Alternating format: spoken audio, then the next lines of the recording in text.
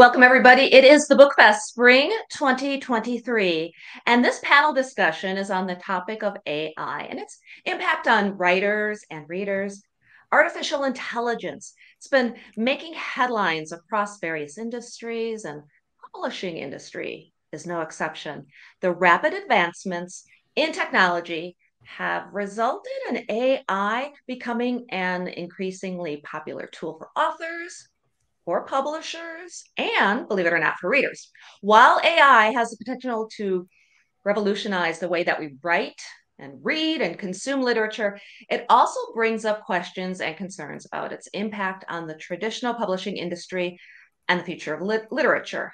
We're going to be discussing various topics, including the use of AI and generating content, the impact of AI on the creative process, the role of AI in personalized content delivery, and the ethical considerations of AI in literature.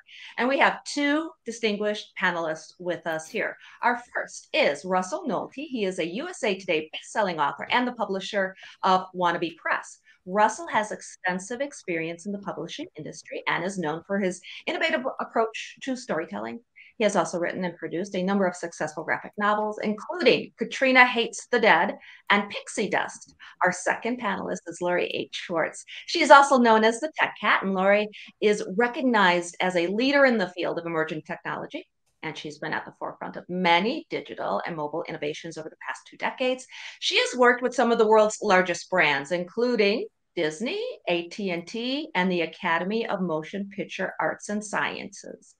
Hi, guys. Welcome. Hi. Thanks for having me. We are both real. We're not avatars. Yet. This Uh, year, uh, yeah, next year. I know I am. Yeah, exactly. If you were an avatar, would you admit you were an avatar? oh, Fair good, good, good question. That I is think good. I There's would- no regulation, so Right. I would be acknowledge. I would acknowledge who I was. if it was based on me, Mhm, mhm. right? I want to I want to start by asking you, what did you think of that introduction? Did I hit your introductions well? Did that sound okay? Does that cover everything? I Yeah. think so. Because as I was preparing for this, I asked, these were the two prompts I gave AI. They were, can you write an introduction to a panel discussion about AI and how it affects readers and writers? That was the first part. The second was, write a brief introduction about the two panelists, Russell Nohelty and Lori H. Schwartz. I gave them nothing else about either one of you, and that's what it spit out. And I used it almost verbatim. Oh my God, I love that. That's, great. That's great. great. So, and that brings up like one of the best uses of AI, which is to do stuff that is annoying and time consuming and people don't want to do. Uh, I have no, well, well, Lori, do you want to talk about like where we are in AI first before we get into like the heat of the discussion or the meat of it? Yeah, yeah, absolutely. Because I, I tend to look at um, things top, sort of top level on a on a trends level, um, because I'm speaking with and talking with folks from a lot of different business categories, with my special sauce being media and entertainment. But I think the way to look at artificial intelligence right now is it's basically software with great hardware and also other technologies like 5G and the uh, sort of focus on cloud, leveraging the cloud, um, which is really big data centers, to move data around at a, fa- really fast level. That software is is helping us with, like you said, Russell, mundane tasks, repetitive tasks, things that in the past required a human being to dig deep into an Excel document, things that have a pattern so that a machine can learn it and then repeat it multiple times. Um, so if you think of uh, the best analogy for me is in Photoshop, there's a setting where if you have thousands of images that you need to change the same setting on, you can literally set a setting and have it spit out those images. That's machine learning. And that that's one of the most popular uses of artificial intelligence right now is those repetitive tasks. Um, basically, artificial intelligence takes information that we give it and it just runs it through.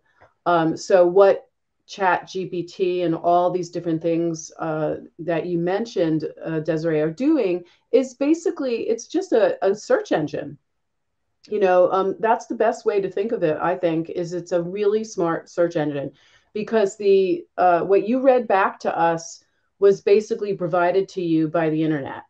Mm-hmm. It, it's basically spidered out, grabbed the stuff, and put it together um, in an intelligent sentence structure based on parameters that we fed it.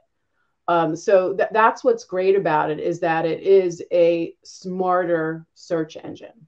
Um, and I think for many folks in various job categories and other places, it's going to solve a lot of those mundane tasks in a faster and more economical way. Sure. I do want to bring, I, I want to uh, draw attention to one thing because it's the conversation that I always have. Uh, generally, Chat GPT specifically, but in most of these writing centered ones, AI is not, is pre- basically predictive text in advance. Like they are generating what the most likely next word is. They're not actually, I mean, I guess they are thinking on some form, but like it's not intelligence in the way that like you think of as general intelligence. Mm-hmm. AI is very, very good at doing specific tasks. So you can train a, an AI very specifically to do like one thing. I wanted to say maybe two things, but really it's one thing.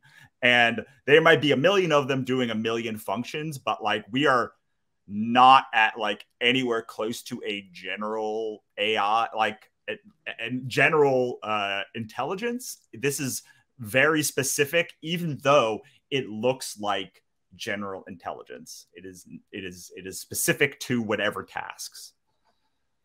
Yeah, it's, yeah. It's, I think the other thing is we we call it artificial intelligence, but to your point, Russell, it's really a misnomer because it's it's not a living being.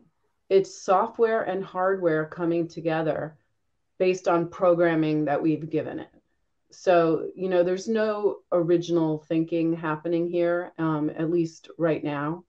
Um, it's it's learning and maybe getting smarter, but um, there's there's not there's not you know this machine that has you know heart and soul yet.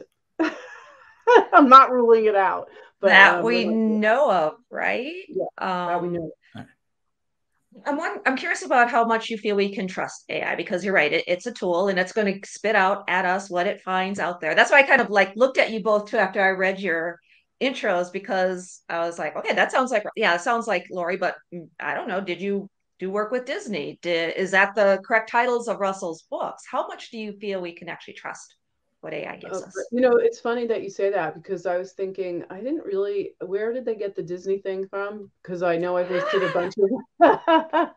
I have. I mean, I have done work for everyone at this point, um, but it's just interesting that that was the brand that popped because I usually don't list that, so that was interesting.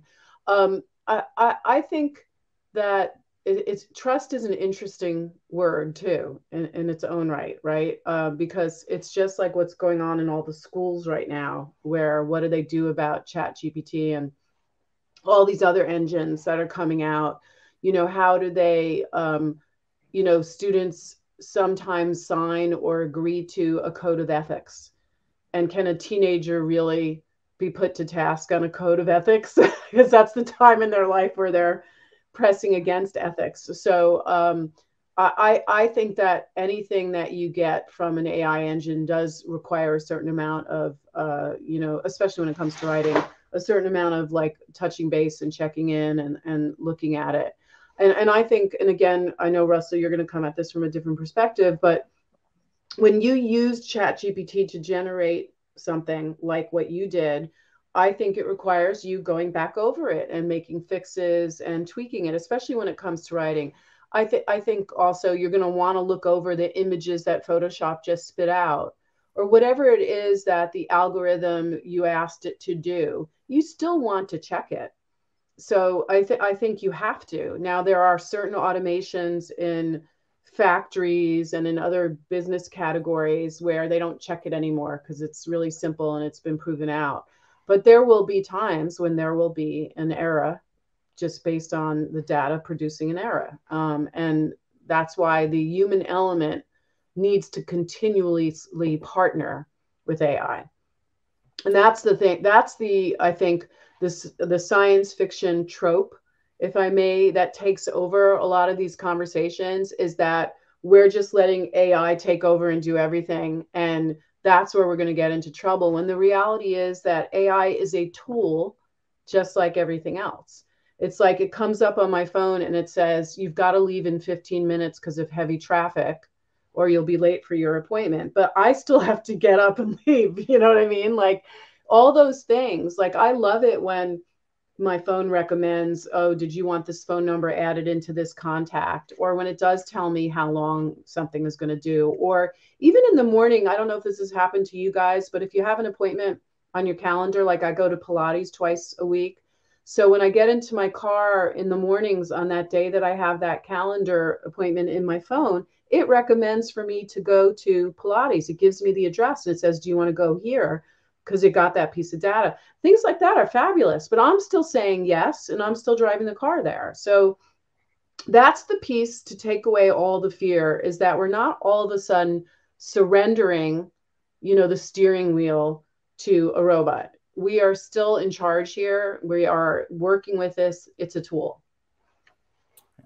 Okay my turn is like I am not a Luddite. I run a conference called The Future of Publishing. I am all about having this conversation.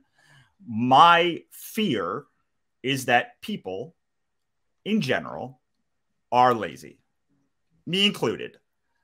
The way that I I am able to tamp my laziness is that when I search something, I can say, "Oh, well, that's not a respected website. I'm not going to trust that. That is a respected website. I can trust that. And my fear of of uh, of uh, of people relying too much on AI is that like it requires a diligence that in the history of humanity nobody has ever demonstrated on a mass level to be able to be trusted with and like I don't know if you know about the uh, should you boil a baby uh, thing that happened a couple of days ago, but like when the new Bing when the new yeah, Bing, uh, I think it was Bing, maybe Bard, one of these search engines, someone asked, "Should you boil a baby?" And the search engine replied, "Yes," and they gave like a whole reason. But the, the what the, they were answering is, "Should you boil a baby's bottle before you give it to them?" But that was not the whole context. What they got was should you boil a baby? And like that is a very extreme example. I feel like nine, a hundred percent of people would know not to boil a baby. Maybe not a hundred, but like almost every person would uh, would agree with that. But that is the problem is that at last, when I last looked, uh, the last research that I read is that these search these chat GPTs are about 80% accurate. And the longer a piece is, the less accurate they become, and the harder it is for, to string all of these things together. And people are not going to go back and check. So they are going to, even now, people are taking advice from very, very questionable websites that everyone knows are questionable. If you start to say, if you start to synthesize all of this into one form where you can't even see the sources, or you have to click very deeply to see the sources, that's a big, big, big, big problem that uh, like just not even like I would do the research. Like I don't care. Like I like research, but like most people are not like that. And I do not like researching everything. I do not having I do not like having to distrust but verify everything.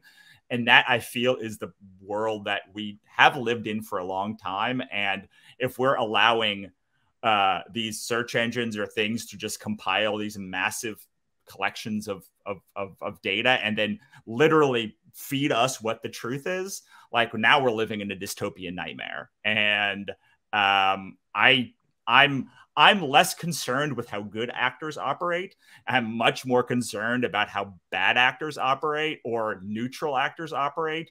And I don't think we have a good solution for what happens when somebody uses chat GPT, GPT to to make a thousand short stories and uses then an automatic uh, submission tool to submit a thousand stories to Clarkesworld in 10 minutes. So they have to go close submission now. Like that's not, that's like a few people that have done that, but they have destroyed one of the most open platforms and highest paying uh, short story collection uh, resources for authors in like a week. And that's just going to keep happening because bad actors are going to outweigh all of the good that could happen in. Uh, uh, uh um, and I know that because that's generally what I've seen happen in every technology, which is a shame because I do see a lot of good that yeah. this specific thing can do. We use AI to do audiobooks um, for books that we can't afford to do full audio productions for because we believe that a large percentage of our readership are disabled um, or they are uh, dyslexic or in some way they are impaired and they need something that's better than the talk to speech. And so the the uh, the the the bare balance we've said is even though we may be taking a job away from a narrator, we're never going to actually narrate those books. And like uh, without having like 10 times the amount of money we have, but we need something for the subsect of our population that needs something that, that, that has accessibility concerns. And those are the weights that everyone's going to come down on with this AI debate. Um, but man, like it really allows for bad actors to have a field day out there. So, so Russell, here's my comeback to that: is that bad actors have existed before AI and everything else, right? That's the nature of humanity: is that we, the light and the dark, always balance together somehow. Um, and every new technology that comes out, there are people that definitely abuse it and then what happens is because we're fantastically intelligent and innovative, we figure out new models around it. So some things that have been established a long time that were wonderful, like the submission solution that you were talking about, may now no longer work in our current society with the current software and solutions that are available. But what is going to happen is using human ingenuity and perhaps even the same AI tools we will come up with a new solution. And that, that's just it. We can't sit in the dark, as my grandmother used to say, you know, I'll just sit in the dark. Don't worry about me, you know, that kind of thing. Uh, I, I think that evolution is going to happen. We are going to keep inventing things that challenge other things that worked. And we're going to have to keep iterating. I mean, the reality right now which is so interesting about ChatGPT, which taught me something uh, just reading about all these solutions, is that human beings think and write in bursts. Um, you've probably heard this before. We write in bursts, like the way our brains work. We have these periods of, of um, I don't know if you want to call it thought or innovation or you know creativity. ChatGPT doesn't. And so what the what the AI tools now that are taking apart chat gpt paragraphs and essays is finding is that human beings have a way of writing that no matter what right now chat gpt or other solutions like that can't do it. So we've kind of mini solved for that. High schools colleges are going to have to figure out they may have to you may have to submit your papers now through an engine before your teacher gets it.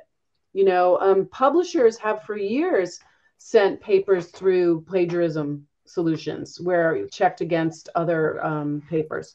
So it, I, I just think we can't be worried all the time about what new innovation is going to come along, but it's a chance to innovate and it's a chance to figure out an even better solution. Um, it's a drag when bad actors come, but there's there's no stopping it. We can't we can't not ever change or evolve. So we just have to keep going. Yeah, but like do we come up with better solutions? Like i've looked at, i mean in the history of human of like the last 30 years has been about like advancing way too fast and then and then taking regulations away not like adding to.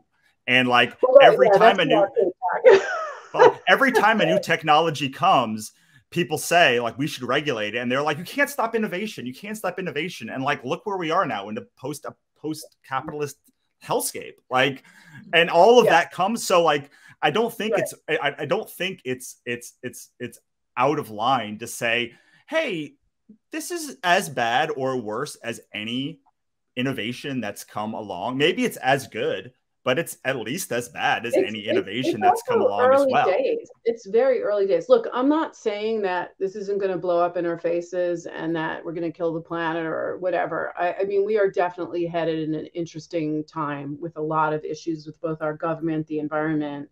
But but if you step back and go, okay, well, there are some interesting innovations like COVID, which is a you know was a horrible pandemic also created a lot of innovation, both in the medical field, um, in how food delivery works, and tons of business categories have innovated because of the pandemic. So we're emerging out of this like horrible economic and medical catastrophe with new solutions, new modes of behavior, new business models. Are all of them fantastic and here to stay? Probably not.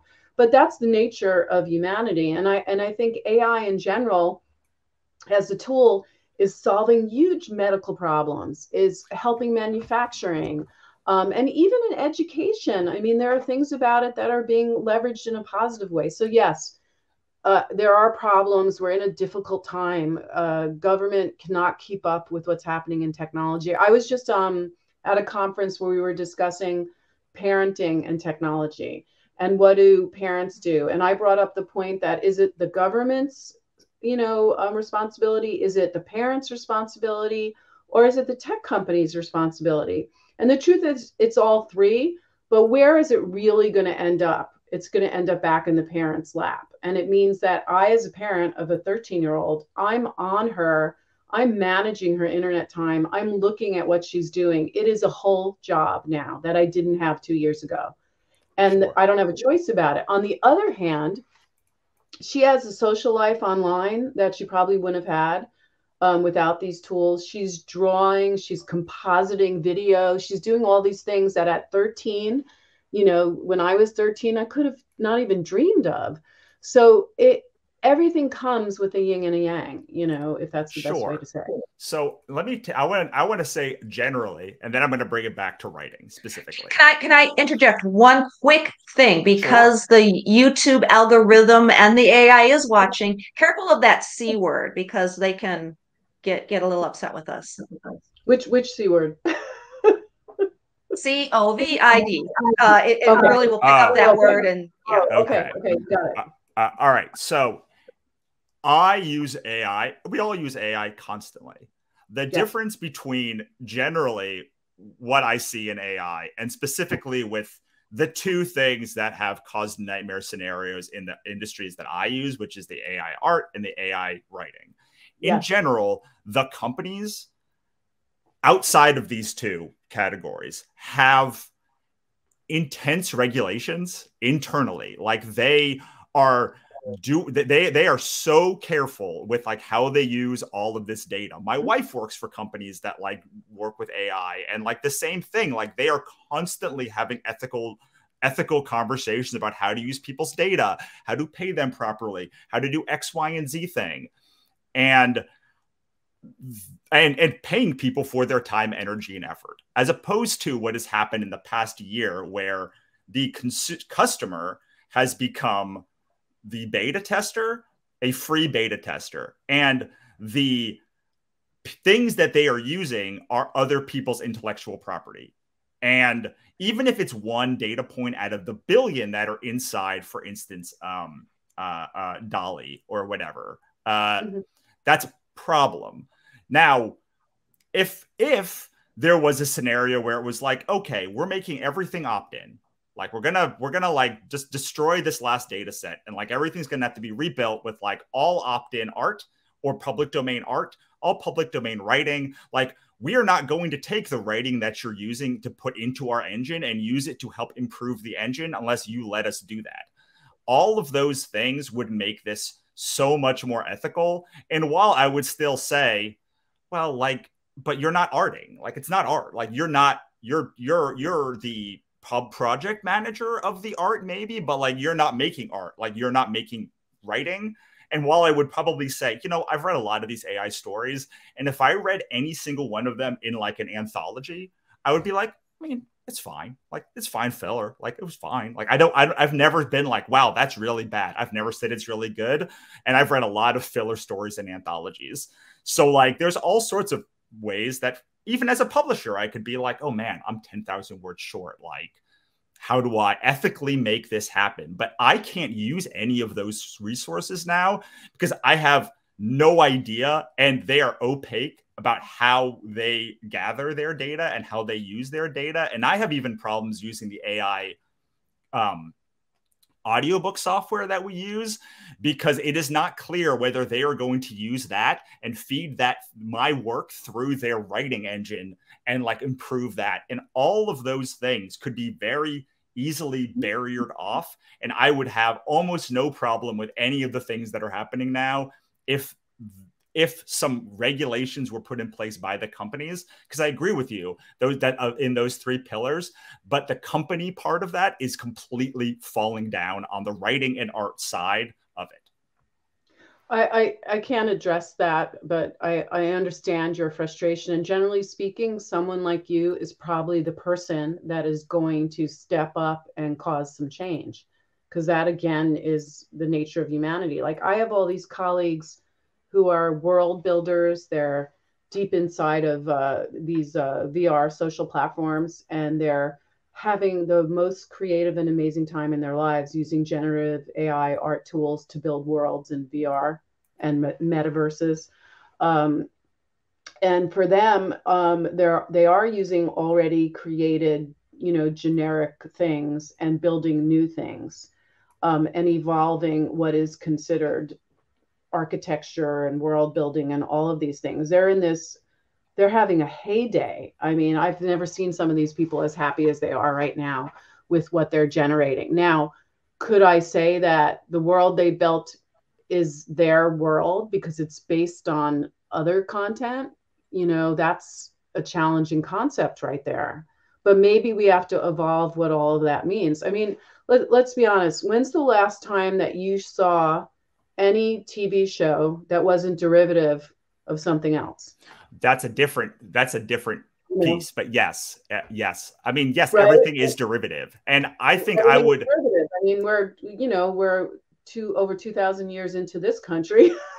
but we're in, but we're into many other years of other civilizations. Sure. So. so if you're saying that AI can be used to use generative art, so I could go into VR and like I can build from pieces that already exist. Or I could take a story and say, This is a, my friend Yud does this. He takes AI stories and he builds out on them. My friend mm-hmm. Matthew makes takes AI art and he like builds out on top of the and, and layered on yeah. there. Like that's an entirely different scenario. If you are saying, um, generate me a world, and then you're clicking it and the world just generates, and you're like, okay, cool, I created a world that that that is the difference that, from i don't i don't I, I i'll i'll bump in here a little bit. I don't think she's saying that and i think it's very true. Everything is derivative and it's just a matter of we can argue slippery slope. Where would our worlds be? Now every single fantasy world out there if it wasn't for j.r.r tolkien would elves be a thing? Everybody kind of knows what an elf is. And if somebody can build their world by saying i want an elf but now I want my elf to also, you know, sparkle and can't go out in the sunlight. So I think that's where this can really be helpful and advantageous to those writers, especially in the science fiction and fantasy world. So I just wanted to kind of jump in there. No, it, it, it's interesting though. I think Russell, you're in a really challenging moment in, in in how you've navigated, like the tools that you know, the way you've done things, uh, the ethics around all of it are really being challenged, and I totally understand that. But I also think that it creates opportunity. I don't know what it is, and I'm not in your area, so I can't even begin to suggest to you how to move through it. But I, I, I just because I, I am on the top of a lot of trends, and I've seen moments like this before. There is going to be tools that will be created to protect high school submissions and things like that. Things are happening already now. Schools are on this. Like I'm telling you, I got a letter from my daughter's school saying, this is how we're dealing with this. You know, this is going to be, we're going to need to run stuff through engines, but we also have some ethics here. And I, I think things, it's, it's an interesting but challenging time. But I, I don't, I don't think you can put the genie back in the bottle is the issue. So all, all we can do is, is sort of try to set up protective walls to a certain extent without curbing the innovation. Yeah, know? I mean, I'm I'm with you. You're the guy to do it. To be honest, you're like, the guy to do it because you're sitting in the middle of the muck right now in this space, and you know what your pain points are. Yeah, I mean that's why we created the conference that we did. So, um, but yeah, I mean, I don't think you can put it back in the box. I do think that with very little, well, that's not true because they do like the the data sets that they have are so huge, so it would take yeah. time. But like, it is possible to unwind this th- th- this and like do it in a the in the ethical way that a lot of other AI is done. Like you talked about that the world, like building the yeah. worlds in VR. Yeah. Like those artists were paid for their time and effort to generate all of this stuff. The programmers Some. were paid for their time yeah. to do that. Yeah. So like when I talk about the AI audiobooks that we do, one of the reasons that I'm able to like live with myself doing them is because the people who did the voices were paid for their voices to be used and like that's right. the part that they are that that like is the artistic part of it is the is is is the so if there were just better guardrails in writing in the on the writing and art side of things because you've already we've already seen we like the the zenith of people's profile pictures that were like all generated by ai like that that like I just read an article that like that it's gone down like 80% in the past like two weeks because like the trend is over. So like then this happens all of the time in where people get really, really, really upset about a thing. And then like the world like uh, uh, burns down. And then like two months later, like they're past the thing. And some people are still using it, but like most people are not. And I do think we're at a time right now where you can say, okay, like, why do you writing and art people get to do this thing that no other AI companies can get. And I hope that other, honestly, I hope other AI companies like come down hard on like Chat GDP and and uh, and yeah, well, they are. these I mean, people in AI because yeah. yeah, like they're they're giving the entire industry a bad name by the way that they they uh, they use people's work and the way that they basically charge people to test their products. Yeah, I I, uh, so I I uh, stumbled upon a character AI engine the other day, and I had a conversation with Loki. it was, and I'm a huge, you know, I'm a like franchise aholic. I love Marvel, I love Star Trek, I love Star Wars, I love all that stuff. Total geek, and uh, so I had a. It was like a 20 minute chat with Loki, and it was just a Loki that someone had created. I don't even know, but I it was the most fun I've had in a long time because the the responses fit my understanding of that IP. Mm-hmm. Um, and I thought it was fantastic, and I um, and I would pay for that.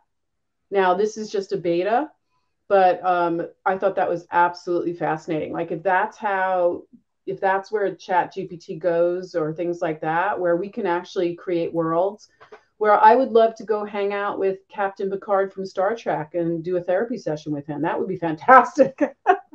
You know what i mean? Um, i mean obviously we have to put some safeguards on all of that stuff but i i i, I think um, you're in a really challenging moment and i think the fact that you're questioning it and pushing on the ethics and pushing on the fairness and the monetization will create change and, and evolution. I just think we have to be really careful to shut down or go, or maybe we go back a little bit and then we step to the left. But um, well, holding back things never works either. Well, I know? thought it was really interesting how the NFT debate uh, fizzled, but really like changed. Uh, well, I don't know how much it's changed, but like people when people said that the main problem with NFTs was that it was made on the Ethereum blockchain because the Ethereum yeah. blockchain is horrible at like people were like, oh well, so I can just take this technology and I'll make it on a, a better blockchain that like isn't so yeah. environmentally and like there was legitimate change that like really addressed my main issue with NFTs, which right, was like right, right.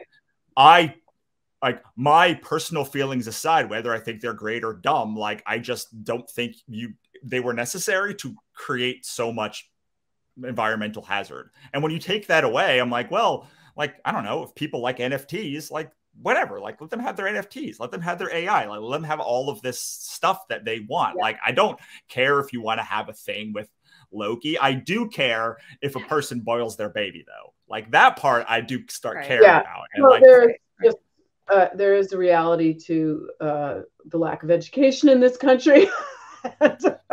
Right. and you know we can only control so so much. Yeah.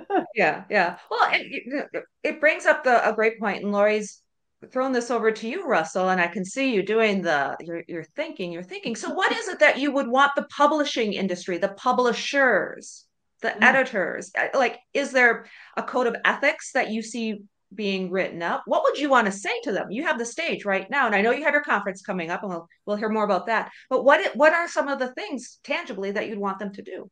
So i it's hard because there's three people really. There's like agents and editors and publishers there's the writers and then there's the ai program like the people who are actually like making the programs. And I think I've pretty well said what I want from the AI program people. It's like just make me some ethical like guidelines that people can and mm. like if if if you're going to like charge people to to test then like you should be paying you should be paying them to test your program not like charging them to test your broken program um for writers i would say like there is a lot of value in making little short stories in your universes if you want to make them and build them out and like i don't know doing poetry through like there's my friend has like a, a thing you can put in uh you can put in like a piece of your text and like it will spit out like what if this was written by hemingway or what if this was written by this character? And like i don't know like those kind of things sound like fun harmless things. I know how he like developed the the the the the algorithm and all of the things that like go into it. So like, yeah, that's fine. I probably like that it's probably okay to use those things. I probably wouldn't put them in something that you put out for paid or uh, but having these things or building on them are like really interesting ways to improve your writing or build out a world if you're a slow writer or even to use an outline as an outline to like a book or a story that you use. Like, no problem with any of those things because AI is meant to like do the mundane tasks that you don't want to do. However, on, at some point, you no longer are the writer or artist. I don't know what that point is. It's somewhere between you pointed a click and then you downloaded it and then you uploaded it and you had no input and like writing the whole thing from scratch is like the the zenith point. And it's and it is okay to hire people. The reason I'm saying it's okay to build out your world that way is you can hire people to write stories in your world. You can hire people to write books in your world. You can hire people to do things inside of your world. That is how most universes exist after a certain time. Uh, like like Gene Roddenberry did not write the books for Star Wars after a time. I don't even know if he wrote any of them. Like so, all of that okay with. Not okay with you downloading a thing and passing it off as your own. Not okay with taking something that you had no control over or that you had no input in except putting some uh, some parameters in and submitting it to a publisher. Like like let's just say you must put some effort into a story. And also, this is the biggest thing that I want writers to get away with it because for some reason, people think that like think of publishers like they think of tech where there's like 10,000 people like writing the, like like like like uh, at a company. It's usually one person who is doing all of the submissions so submitting a thousand things to them especially when they're as mediocre as chat G- gdp or Sudowrite is is probably just going to irritate them and blacklist you anyway. So like maybe like the rule usually is like one a month or one until you get like a rejection and then you can submit again. So, like, just as a rule, like, submit one thing, maybe two things if like they allow you to, but like follow the guidelines and then wait until the rejections come in or the acceptance comes in. And when you are when you are submitting, please just say, I generated this through through through through, through a program because right. some people won't care, some people will. As an editor, publisher, et cetera, et cetera, most of the same rules apply. I think there's a very interesting case study where if you're 10,000 or 5,000 or someone pulls out of an anthology, can what are ethically, what are the rules for you just saying, well, I'm just going to have chat gdp write a 5000 word story. And i'm going to disclose that it's a 5000 word that, that chat gdp wrote it but i will i can i add that into my collection? I don't know ethically or like what you can do in that matter for like monetarily but like i think that we're in a place where there are for writers and publishers i i i want them to understand that there is a path forward but it must be an ethical path forward that does not destroy the publishing industry or the art industry as it exists now. And what if it evolves those industries though? Well, that hmm. is a that is that is where the the the, the teeter totter is, right? It's like I think that there are great evolutions that publishing can do that that can exist in publishing, but uh, I think it's very easy to start filling a 500 anthologies with like chat GDP stories and then flooding the market and putting 500 books out a month. And like, right. I am worried about that because like it takes no effort for someone to hit a sub, hit a button and then get a story and then exactly. hit a button and get a cover exactly. and then putting it online. Got it and we're running up against the clock and i really want to bring this up. What about the readers? So we've addressed the publishing industry and the writers and what they're supposed to do. I'm curious and this is something i'm just kind of like throwing out to everybody watching. Do you want to read stuff that's written by an ai does it matter if there's a human behind it or if it's a hybrid and somewhere in between and maybe that question is a little bit rhetorical but I'm just curious on your your thoughts, panelists, of do you think that's going to matter? How much is it going to matter to people? And should people, should the readers go on Russell's side and say, hey, we demand publishers and writers that you don't do too much of this stuff? I, I think uh, honestly, I think you can tell that you'll be able to tell the difference over time um, where some of this content is generated. Like it, it literally, I, I, really do do. I have read chat enough chat gpt stuff right now and i have used it for like we needed to come up with keywords for an event i was doing and so i asked chat gpt what are the keywords for this event now it pulled from search engines but it was a great you know something that i would have had an intern do you know mm-hmm. or put into word give me thesaurus words or whatever you know i thought mm-hmm. that was fantastic but i do think you know, right now, and this is going to change, that these engines don't have irony, they don't have modulation, they don't, they're not human beings. And so over, now there may be a bunch, a new generation of folks that don't know the difference because they don't know any better. And maybe that's where we're headed as a culture. And that doesn't make me happy. But I think you can tell the difference and you will over time.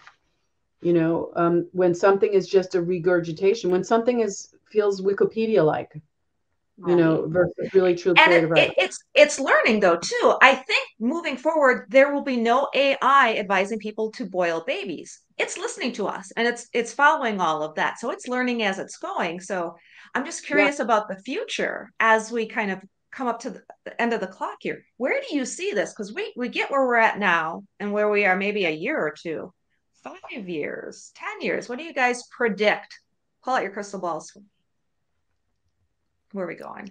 I well, think I, there's going to be. Yeah, oh, no, no, I think no, there's please, going, go, I, I think people are going to have an industry that is transhumanist and they're just going to be like, I want the AI. There's going to be people that are like, I love AI. I want AI. There's going to be people that are like, I don't care. I just want a good story. And in fairness, there are stories that are much better for AI generation than others. Like there are like very rote paint by number stories that probably AI is going to be able to get. And then there's going to be people that's like, I don't want this. I just want humans. And they're all just going to have to learn to exist together. They're probably, I would imagine Amazon or someone else will probably have like a silo for like AI generated stories and then non AI generated stories. That's the easy way to go about it. Um, but yeah, I mean, I just think we're going to just look with NFTs or anything else that's come along. Like, just going to have to find a way to hopefully ethically live together with these things over time. Yeah, I, I was seeing the same thing where maybe you buy a book and like the first half is original and the second half is generated by AI. Maybe it is something that we weave into our culture. and as it gets more sophisticated we have to get more sophisticated i mean it's it's this it's just the nature of you know we're we're just in an interesting moment in time where our culture and our society is moving at a really fast pace and i'm not saying it's all good but i think we we do continue to iterate and evolve when we're met with challenges that that that is the nature of humanity and so i i am mostly filled with hope and uh, excitement about where things are going and that's um, one of the reasons you both are on this panel. Lori represents hope and light, and Russell is, you know, dystopian. Oh, and, and, and, in all fairness, a little Russell, bit, a little bit. Russell's in the middle of a very specific storm right now, and so I appreciate and respect that because I don't have the challenges that you have in that particular category and vertical. You're actually living in you're in the war right now um, and I'm more of a commenter on, on the on the war. But um, but I I have as just someone who looks at trends, I have seen these wars before, and we usually usually usually emerge with solutions. And sometimes it's worse than it was before. Sometimes it's better, and that's again just the nature of humanity that's yeah. how we progress. Russell, uh, I'll give you a moment. I'll give you both a moment just to say your closing thoughts and let us know what's going on because you have that, Russell. You have that great um, conference that you keep bringing up. Can you tell us I, really quick I, what that I is? do. Well, I want. Can I give you a good use case for for AI before? Because I, I I feel like sure. I, okay. So you go to Amazon. You put you click you you go into their AI platform uh, back end and you say i want to read a romance novel with these four tropes done this and and and, and amazon generates you a novel on the spot that is unique to you and that is a potentially very cool reader use case for AI. And I think some people will just say, I don't, I, am not finding what I want. I just want another siren novel that like is friends to lovers and X, Y, and Z. And then will it be the best novel that's ever created? No, it probably won't be. But like, does that really matter when you just want to like feel like the the, the so, warm so tingles? Lori could get her Loki romance novel if she wanted to, right? Sure. Like you could go to the you could go to Disney and maybe it can generate a novel for you based on some parameters there. But like that is yeah. that is like the far end of like what is possible on this platform. Um, I do have a conference. It's called uh, the Future of Publishing Mastermind. We have a virtual component, have a membership component, and then we have an in-person component in New Orleans, which is application only.